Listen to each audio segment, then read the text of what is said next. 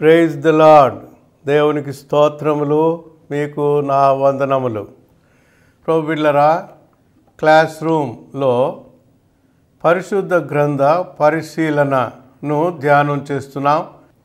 మొదటి గ్రంథమైన ఆది కాండంలో రెండు భాగాలుగా మనం నేర్చుకోవాలని విన్నాం. మొదటిది మొదటి అధ్యాయం నుండి పదకొండవ అధ్యాయం వరకు.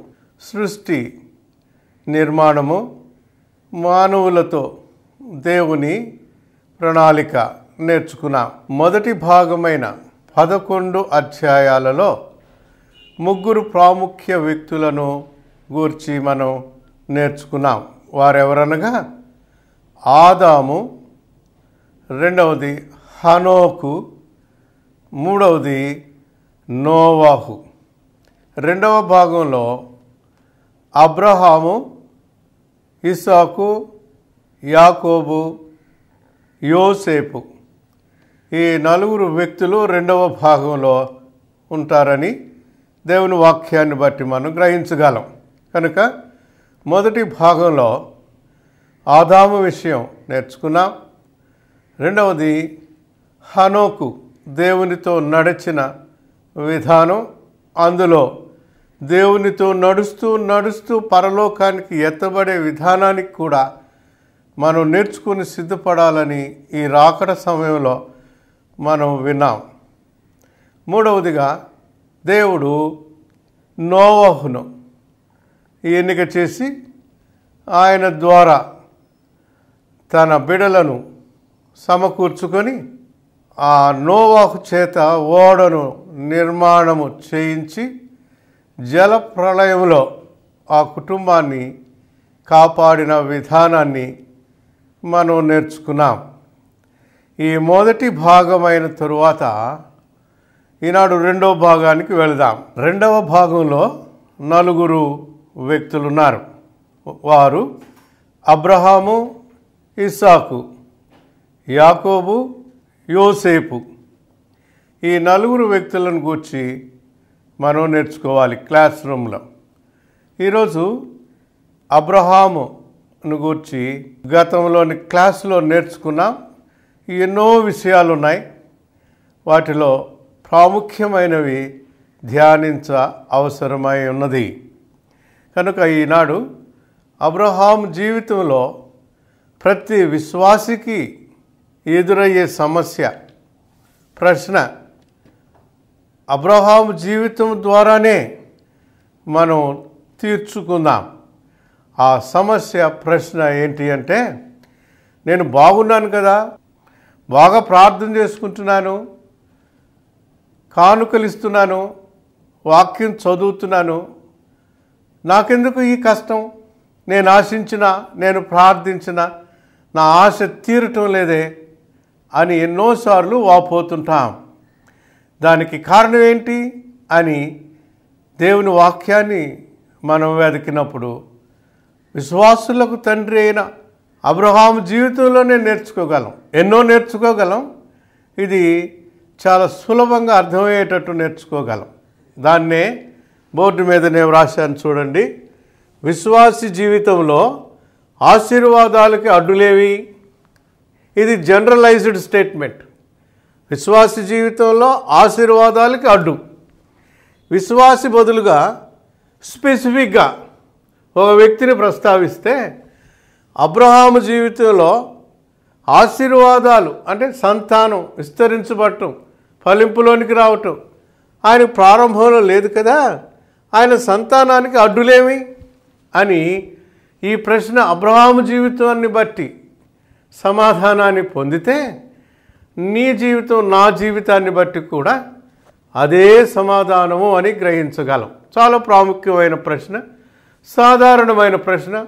ప్రతి విశ్వాసికి సాతానుడు పొడచూపుతూ విశ్వాసాన్ని చల్లబరిచి పడగొట్టడానికి అనువైన ఆయుధం కూడా ఈ ప్రశ్నే అని మనం గ్రహించగలం. ప్రభు బిళ్ళారా మర్చిపోకండి. వచ్చే ప్రతి సమస్యకు ఎదురయ్యే ప్రతి సమస్యకు కూడా దేవుని వాక్యం తేటగా సమాధానం ఇస్తుందని మర్చిపోకండి. ఈ అబ్రహాము సంతాన లేమికి కలిగే అడ్డు మనం నేర్చుకోగలిగామంటే మన వ్యక్తిగత జీవితాల్లో కుటుంబ జీవితాల్లో మన ఆశకు ఉద్దేశాలకు నెరవేరని ప్రార్థన అంశాలకు కారణం ఏంటి అనేది మనం గ్రహించగలం. ఈ ప్రశ్నకు మూడు అంశాలతో మీకు వివరించాలని నేనెంతో భారం కలిగి ఉన్నాను. ఆ మూడు ఏంటంటే మొట్టమొదటిదిగా వ్యక్తిగత జీవితం. రెండవదిగా దేవుడు ఆశించనిది ఏదైనా మనలో ఉందా అనేది రెండవది. దేవుడు నిషేధించినది. మూడవది ఏంటంటే గుర్తించి విడుదల పొందటం. గుర్తించి విడుదల. ఈ మూడు ప్రాముఖ్యమైన అంశాలు. వ్యక్తిగత జీవితంలో దేవుని దగ్గర మనం ఆశించేది పొందలేకపోవటానికి కారణం ఏంటంటే ఈ మూడు అంశాలతో కూడినది అనేది మనం గ్రహించాలి. మొట్టమొదటిది వ్యక్తిగతం. వ్యక్తిగతం పర్సనల్ లైఫ్. ఇది పర్సనల్ లైఫ్. ఈ వ్యక్తిగత జీవితంలో చెప్పాలంటే తెరహు అనే అబ్రహాము తండ్రికి ముగ్గురు కుమారులు అని బైబిల్ చెప్తుంది అబ్రహాము నాహోరు హారాను ముగ్గురు కొడుకులు. నెంబర్ వన్ అబ్రహాం తర్వాత నాహోరు హారాను. వీరి ఒక్కొక్కరిలో కూడా చాలా ప్రత్యేకతలు ఉన్నాయి మొదటిది ఏంటంటే తెరకు మరణించే వరకు అబ్రహాం దగ్గర ఉండేవాడు. నాకు అనేక సార్లు నేను నన్ను నేనే ప్రశ్నించుకున్నా ముగ్గురు కుమారులు పుడితే ముసలి కాలంలో తండ్రి ఏ కుమారుడి దగ్గర ఉండాలి? చాలాసార్లు నేను గమనించింది ఆగ్రా కుమారుడి దగ్గర ఉంటాడు. కానీ ఇక్కడ జ్యేష్ఠ కుమారుడు ఆ బాధ్యత తీసుకున్నాడని నేను ఎన్నో పాఠాలు నేర్చుకున్నాను. తదుపరి దినాల్లో అబ్రహాం కుమారుడైన ఇస్సాకు గమనించాలి. పెళ్ళి చేసుకున్నది ఎవరిని అని అంటే నాహోరు మనమరాలైన రిప్కాను నాహోరు కుమారుడు బెతుయేలైతే బెతుయేలు కుమార్తె రిప్కా ఏ రిప్కాను అబ్రాహం కుమారుడు ఇస్సాకు వివాహం చేసుకున్నట్టు బైబిల్లో మనం చదవగలం. హారాను సంగతికి వస్తే తెరహు కంటే ముందు తండ్రి కంటే ముందు చచ్చిపోయినాడు హారాను. హారానుకు పుట్టిన కుమారుడే లోతు. లోతు. చాలా జాగ్రత్తగా ఇక్కడ వినాలి. హారాను కుమారుడు లోతు అని దేవుని వాక్యంలో మనం చదవగలం. ఇప్పుడు హారాన్ చనిపోయినాడు లోతు. ఈ మాట బాగా మీరు గ్రహించాలని నా మనవి. లోతు అంటే అర్థం ఏంటంటే వెయిల్ అని విఈఐఎల్ వెయిల్ అని అర్థం. తెలుగులో అర్థం ఏంటండి? ముసుకు అని అర్థం. ఈ మాటలన్నీ గమనిస్తున్నారు కదా? ఇప్పుడు తండ్రి లేని బిడ్డ లోతు. పోనీ లేని కూడా తెచ్చుకున్నాడు అబ్రాహాం ఈ కూడా తెచ్చుకున్న విషయం ఏమైందంటే అబ్రహామునకు తన ఆశీర్వాదాల జీవితానికి ముసుకైపోయినాడు లోతు. ఆ తరువాత దయచేసి గమనించండి. ఇక ప్రాముఖ్యమైన విషయాలకు వెళుతున్నాం. ఏంటంటే అబ్రహాం భార్య పేరు షారా. మొదట ఈయన అబ్రాము ఆ తర్వాత ఆమె షారా. అబ్రాము షారా. అబ్రామును దేవుడు దర్శించినప్పుడు నేను నిన్ను ఆశీర్వదిస్తాను నీవు జనములకు తండ్రివై ఉంటావు అని దేవుడు చెప్పాడు. ఆయన పేరును కూడా మార్చి అబ్రహాముగా చేసినాడు. పేర్లను మార్చి వివరణలోకి వెళితే చాలా సమయం పడుతుంది కానీ ఒక్క మాట నేను జ్ఞాపకం తెచ్చి ముందుకెళ్తాను. అబ్రహాము అని అంటే జనములకు తండ్రి ఫాదర్ ఆఫ్ నేషన్స్ అనేది జ్ఞాపకం పెట్టుకోవాలి. ఫాదర్ ఆఫ్ నేషన్స్ నేషన్స్ ఈ ఎస్ బాగా ఫ్లోరల్ జ్ఞాపకం పెట్టుకోండి. బహువచనం. మన దేశానికి కూడా ఒక ఫాదర్ ఆఫ్ ద నేషన్ అని పిలుచుకునే వ్యక్తి ఉన్నాడు కదా? ఒక దేశానికే. కానీ ఫాదర్ ఆఫ్ ది నేషన్స్ బా ఎంత ఆశీర్వాదం అండి దేవుడిచ్చింది. దాదాపుగా యాభై దేశాల్లో ఈ దినాన అబ్రహాము యొక్క సంతానము రాజులుగా ధనవంతులుగా ఐశ్వర్యవంతులుగా అమెరికా దేశానికి మించిన ఆస్తిమంతులుగా అబ్రహాము సంతానం ఉంది అని మనకు బాగా తెలుసు. కావాలంటే వివరాలు నన్ను అడగండి నేను చెప్తాను. సమయం అందుబాటును బట్టి దాటిపోవాలి. ఈ అబ్రహాము షారాయులకు సంతానం లేదు. అబ్రహాముకు దేవుడు నీకు నేను సంతానం ఇస్తాను ఆశీర్వదిస్తాను అని చెప్తూనే ఉన్నాడు. సంతానము లేదు. అబ్రహామును డెబ్బై ఐదు సంవత్సరాలప్పుడు దేవుడు పిలిచాడు. కానీ పిల్లలు లేరు. నేను ఆశీర్వదిస్తానన్నాడు. పదిహేనో అధ్యాయానికి వస్తే నిరాశ పదహారు దాటి పదిహేడో అధ్యాయానికి వస్తే చాలా ప్రాముఖ్యమైన విషయాలు. నేను రెఫరెన్స్ చెప్తాను. దయచేసి ధ్యానం చేయండి. ఆది కాండము పదిహేడవ అధ్యాయం పదిహేడవ వచనమును. పద్దెనిమిదో అధ్యాయం రెండో వచనాన్ని మీరు పోల్చి చదివితే అక్కడ తేటగా వారి బాధ పిల్లలు లేరు అనేది మనకు అర్థమవుతుంది. ఇప్పుడు ఎందుకు పిల్లలు లేరు? అని మనం ప్రశ్నించుకోవాలి. దానికి రెండే రెండు కారణాలు ఉండాలి. నెంబర్ వన్ అబ్రహాము యొక్క శరీరం సంతానోత్పత్తికి అనువైనదిగా లేదా అనేది మొదటి ప్రశ్న. రెండవ ప్రశ్న ఏంటంటే Abraham fit for producing the children పిల్లలు పుట్టించడానికి శక్తిమంతుడు శరీరం లోటు లేదు అని అన్నప్పుడు మరో లోటు ఏమై ఉండాలి? అటు శారమ్మన్న ఉండాలి లేదా కానరాని మరొక శక్తి యుక్తి ప్రణాళిక అన్న అయి ఉండాలి. ఆ రెంటిని మీ ముందు పెట్టి నేను ముగించాలి. మొదటిది ఏంటంటే అబ్రహాము పిల్లలు పుట్టడానికి యోగ్యుడు ఖచ్చితంగా యోగ్యుడు. ఎలా చెప్పగలం అని అంటే సంతానానికి. ఎలా చెప్పగలం అంటే అబ్రహాము హాగరుతో కుమారుణ్ణి అన్నాడు. ఇస్మాయేలు అని పేరు పెట్టారు. సారాయి చనిపోయిన తర్వాత మరొక ఆమెను వివాహం చేసుకున్నాడు అబ్రహాం. ఆమె పేరు కెతూరా. కెతూరా. కెతూరాకి ఆరుగురు కుమారులను కన్నాడు. గమనించండి.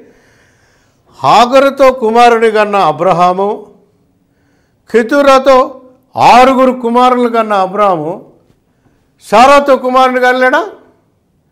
అంటే సారాతో కుమారుని కనటానికి అబ్రహాం శరీరంలో సంతానోత్పత్తికి ఏమి సమస్య కొరతలు లేవు కదా? కాబట్టి కొరత అనేది అబ్రహాంలో లేదు అనేది అసలైన పాయింట్.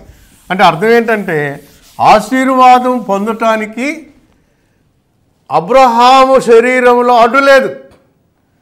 మరి దేంట్లో అడ్డు ఉంది? అంటే రెండో విషయానికి వెళ్ళాలి. ఇప్పటి వరకు మనం ఏమి నేర్చుకున్నామంటే వ్యక్తిగత జీవితంలో ఫ్యామిలీ గుడ్ ఫ్యామిలీ ఆయన శరీరము fit for the production of the children ఏ లోటు లేదు. వ్యక్తిగత జీవితంలో లోటు లేదు. గమనించండి ప్రభు బిడ్లరా ఎప్పుడైతే లోటు లేని కొరత లేని విశ్వాస జీవితాన్ని జీవిస్తామో ప్రశ్నలు ఇంకా ఎక్కువ అవుతాయి. నేనేం చేస్తే నాకు ఈ కష్టం? నా ప్రార్థన ఎందుకు అంగీకరించవు ఎన్ని సంవత్సరాల నుంచి నేను ప్రార్థన చేస్తున్నానే? నాకు నా ప్రార్థన సమాధానం ఎందుకు ఇవ్వయా అన్న దినాలు కూడా ఉంటాయి విశ్వాస జీవితంలో. You are very good in your personal life వ్యక్తిగత జీవితంలో శారీరకంగా కుటుంబంగా వెరీ గుడ్ క్రిస్టియన్. అయితే గమనించండి రెండో మెట్టు ఉంది. అది ఏంటంటే దేవుడు నిషేధించినది ఒక్కొక్కరికి తేటగా తెలుసు. ఆదాము హవా. ఆదామా చెట్ల పండ్లన్నీ నీ తినొచ్చు. ఒక్క చెట్టు పండు. అదిగో దాని ప్రక్కన ఇంకోటి ఉందే ఆ జీవవృక్ష ఫలం కానీ దాని ముందుండే మంచి చెడ్డల తెలివినిచ్చు ఫలమును కానీ తినకూడదు. నిషేధించాడు దేవుడు. అక్కడికే వెళ్ళాడు సాతానుడు. వారి ఆశీర్వాదానికి ముందే పడగొట్టి ఏదైనా తోటలో సంతానం కలగకుండునట్లు సాతానుడు మానవులను దూరపరిచాడు మరవకూడదు. ఇది మనం గతంలో నేర్చుకున్నాం. అంటే నిషేధించినది తప్పకుండా ప్రతి వారి జీవితంలో ఉంది ఉంది అనేది మనం గమనించాలి. వాక్య మూలాన కానీ వ్యక్తిగత అనుభవంలో కానీ. ఏంటి ఇక్కడ నిషేధించింది అంటే నీవు నేను చూపించు దేశానికి వెళ్ళు. నీ దేశము నుండి నీ బంధువుల యుద్ధ నుండి నన్ను వెంబడించు. విడిచి వెంబడించు. ఇది కూడా గతం క్లాసులో విశ్వాసానికి రెండు బొమ్మ బొరుసు లాంటివి ఉన్నాయి. అవి ఏంటి అని అంటే మొట్టమొదటి విడిచిపెట్టడం తర్వాత వెంబడించటం. విడిచిపెట్టనయా? ఏమీ లేదు అని అన్నప్పుడు ఏదైనా క్లిష్ట సమస్యలు వస్తే నాకు ఎవరు లేరుగా ఇటుబో అంటానికి? నీవే దిక్కయ్యా అని ఆయన వైపు చూడటానికి మొదట విడిచిపెడితే కానీ ఆయన వైపు చూసి వెంబడించలేము కాబట్టే దేవుడు కొన్ని నిషేధించాడు. నీతో ఎవరు ఉండక్కర్లేదు. నీ దేశం నుంచి రా బంధువులందరి నుంచి రా. నీవు విడిచిపెట్టిరా అన్నాడు. ముసుగు ఒకటి అడ్డం వచ్చింది. ఆ ముసుకే లోతు. గమనించండి దేవునికి మనకు నిఠారైన ఆత్మీయ జీవితంలో తండ్రి అంటే ఏం బిడ్డ? అన్నట్టుగా. హనోకును కదా హనోకు దేవునికి ఇష్టడుగా జీవించాను. బా ఎంత మంచి మాట అండి దానియేలు నీవు నాకు ప్రియుడవు. ఎంత మంచి మాట అండి సుందర్రావు నువ్వు నాకు ప్రియుడవు అన్నప్పుడు ఆయన నన్ను తేటగా నేను ఆయనను చూస్తా తేటగా ముఖాముఖిగా మాట్లాడు సాధ్యాత్మిక దృష్టిలో. ముసుగు లేదు కానీ అబ్రాహ్మ జీవితంలో ముసుగు లేకుండానే ఉన్నాడు అన్ని విషయాల్లో కానీ. లోతును తీసుకొచ్చి లోతు అనగా ముసుకు వేయబడింది. దేవుని వాక్యం ఏం చెప్తుందంటే పోను పోను ఈ లోతు అబ్రహాము కుటుంబానికి ఆశీర్వాదాలకి అడ్డుపడ్డాడు ముసుగులాగా అడ్డుపడ్డాడు అని గ్రహించగలం. ఏ రీతిగానంటే నెంబర్ నేను మూడు విషయాలు చెప్తాను. ఎట్లాగా ఆయన ముసుగు అయినాడు అని అంటే మొట్టమొదటి విషయం ఏంటంటే లోతు అబ్రాహాముతో కూడా ఉన్నప్పుడు అబ్రాహాము యొక్క తమ్ముడు కుమారుడు కదా? బంధువుల ఇంటి అన్నింటిని విడిచిపెట్టి ఎందుకు దేవుడు రమ్మన్నాడు? బంధువులందరూ విగ్రహారాధికులు అబ్రహాము ఒక్కడే నీతిమంతుడు ఒక్కడే దేవుని నమ్మినవాడు. నువ్వు బయటికి రా నువ్వు ఒక్కడే అన్నాడు. విగ్రహారాధికులు మిగిలిన వారంటే లోతు కూడా విగ్రహారాధికుడు అయినట్టేగా లెక్క రోబిలరా విగ్రహారాధికులలో చీకటి శక్తులు ఉంటాయి. నష్టపరిచే చీకటి శక్తులు ఉంటాయి. ఉంటాయి. ఉండాయి. అనుభవించి చెప్తున్నాను. కసుమూరు అనే ప్రాంతం ఉంది మన నెల్లూరు జిల్లాలో. దాదాపు ఇరవై సంవత్సరాల ఆ ప్రాంతంలో నేను వాక్యం చెప్పాను. వెంకటాచలం నుంచి కశ్మూర్ వరకు నేను చెప్పని గ్రామం లేదు వీధి లేదు. సువార్త దండయాత్రలో కానీ పరిచర్యలో కానీ. ఎందుకు ఈ మాట చెప్తున్నా అంటే దెయ్యాలు మనుషుల్లో దూరి వాక్యాన్ని విననివ్వం ఒకవేళ వినిన వారు ఉన్నారు అంటే పడగొట్టేదాకా వెంబడిస్తుంటారు. దేవుని ఆశీర్వాదాలు పొందటానికి ఇష్టపడని సాతాను తొత్తులు ముసుగులుగా ఉన్నాయి. వారితో చాలా ఆత్మీయంగా మెలకువతో వివక్షతో బ్రతకటం అవసరము అని నేను అనుభవించి చెప్తున్నాను. ముసుగు. విగ్రహారాధికుడైన ఆ విగ్రహ తత్వం చీకటి శక్తుల తత్వం అబ్రహాము జీవితంలో మూసివేసింది. ఏం మూసివేసిందండి? చారాయి గర్భమును మూసివేసింది. పిల్లలు లేరు. అబ్రహాం ఈజ్ ఎఫెక్టివ్ కానీ పిల్లలు లేని స్థితి. కారణం లోతు అనే ముసుగు. పోను పోను అబ్రహాము లోతులు కలిసి ప్రయాణం చేస్తున్నప్పుడు అబ్రహాము యొక్క ఆస్తి పశువులు గొర్రెలు ఒంటెలు మందల కాపరులకు లోతుకు కూడా ఆస్తి ఉన్నట్టుగా రాయబడింది. లోతు కాపరులకు. అంటే వీరు పోను పోను అబ్రహాము యొక్క ఆస్తిలో ఎదుగుదల ఐశ్వర్యం కనబడుతుంది కానీ సంతానం లేదు. లోతు కూడా ఆస్తిమంతుడుగా కాపరులు కలిగిన మందలు కలిగిన వాడుగా ఉన్నాడు. వీరిరువురు మధ్య పోరాటం తగాద ఘర్షణ ఉన్నదని పదమూడవ అధ్యాయంలో మనం చదవగలం. కాబట్టి ముసుగు వల్ల కలిగిన రెండవ ఫలితం ఏంటంటే ఘర్షణ తగాద పొసకని తత్వం వస్తుంది. ఇక మూడో విషయానికి వెళదామా? మూడవది చాలా ఆశ్చర్యకరమైనది ఏంటంటే లోతును చూస్తున్నాడు కానీ వీడు నా తమ్ముడు కొడుకు నాకు లేకపోయాడుగా అని ఎంతో నిరాశలో ఉన్నాడు. దేవుడు పదిహేడో అధ్యాయంలో అబ్రహామునకు ప్రత్యక్షమై చెప్పాడు. అబ్రహామానే నీకు సంతానం ఇస్తా అంటే ఏమన్నాడండి? నా సంతానము నాకు లేదే ఆ దమస్కు ఎలియాజరే కదా నా ఆస్తికి కర్త అవుతాడు అని సాగిలపడి నవ్వుకున్నాడంట. ఎంత ఆశ్చర్యం. నాకు ఈ మాట విన్నప్పుడు చాలా ఆశ్చర్యంగా బాధగా కూడా ఉంటుందండి. మొదటి నష్టం ఏంటంటే మూసివేశను రెండవది తగాద. మూడవది నిరాశ. చూడండి సారాయి గర్భం మూసివేయబడింది. రెండవది వారి ఇరువురి యొక్క కాపరుల మధ్య తగాదాలు వచ్చాయి ఘర్షణ వచ్చింది. మూడవది పోను పోను ఆశీర్వదిస్తాను. ఏ లాభం ఎలియాజర్కే కదా? అన్నట్టుగా ఆ దేవునితో మాట్లాడుతూ మాట్లాడుతూ నవ్వుకున్నాడంట అబ్రాము. దేవుని యొద్ద దేవుని వాక్యం బైబిల్ చెప్తుంది సాగిలపడి నవ్వుకొనెను. బా ఈ రెండు కాంట్రడిక్టరీ వర్డ్స్ అండి. సాగిలపడి ఆరాధిస్తాం స్తోత్రం చెల్లిస్తాం ఆయనలో ఆనందిస్తాం. కానీ అబ్రహాం చేసింది నేను దేవుని వాక్యంలో చదువుతున్నాను చూడండి. ఆది కాండము పదిహేడవ అధ్యాయం. పదిహేడవ వచనం చూడండి. అబ్రహాము సాగిలపడి నవ్వి నూరేండ్ల వానికి సంతానము కలుగునా తొంభది ఏండ్ల శారా కనునా అని మనస్సులో అనుకున్నాను ఏమండి?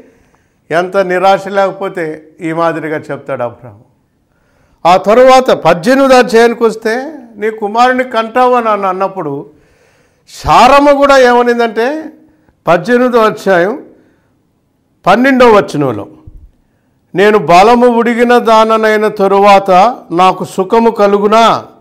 నా యజమానుడును వృద్ధుడై ఉన్నాడు కదా అని తనలో తాను నవ్వుకొనేను. పద్దెనిమిదో అధ్యాయం పన్నెండవ వచనంలో షారానవ్వు పదిహేడవ అధ్యాయం పదిహేడవ వచనంలో అబ్రహాము నవ్వు. ఈ రెంటి నవ్వులకు ఇవి అసాధారణమైన నవ్వులు నిరాశలోని నవ్వులు అని మనం గ్రహించగలం. ఈ నిరాశ నిస్పృహ అనేది మూడో అంశం. పిల్లరా నిషేధించిన వస్తువే కానీ పాపమే కానీ దాచుకున్న రహస్య పాపమే కానీ వెంటబడినప్పుడు మూడు రకాలైన నష్టాలు అనుభవించాల్సి వస్తుంది. నెంబర్ వన్ ఆశీర్వాదాల ఒరవడి మూసివేయబడుతుంది. నెంబర్ టూ నెమ్మది లేని అనుభవాలకు వస్తాం. నెంబర్ త్రీ నిరాశ నిస్పృహ కృంగుదలకు కృంగుదలకు వెళ్ళిపోతాం. కృంగుదల